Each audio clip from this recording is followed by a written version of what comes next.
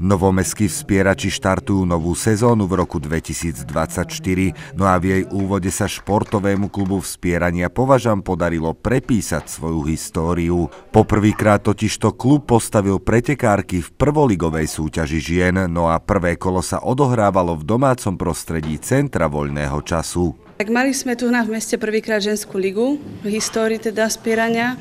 Eh, od nás štartovali teda tri dievčatá, všetko boli vlastne 2008 ročníky, čiže mali sme najmladšie družstvo zo Slovenska. Štartovalo tu konkrétne 6 klubov, dva z Trenčína, my Nové mesto, potom Golem Nové mesto, Veľký Medier a Nitra.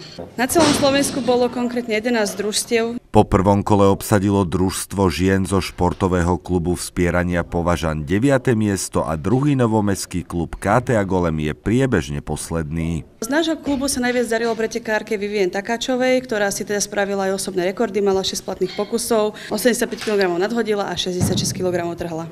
Najbližšie kolo nás eh, druhé čaká v máji a bude sa konať v Štúrove. Sezóna odštartuje čoskoro i mladším žiakom z tunajšieho klubu. Tých čaká prvé kolo súťaže v sobotu 17. februára a odohrávať sa bude takisto v ich domácom prostredí Centra voľného času. Držíme palce. David Cvitač, Televízia Pohoda.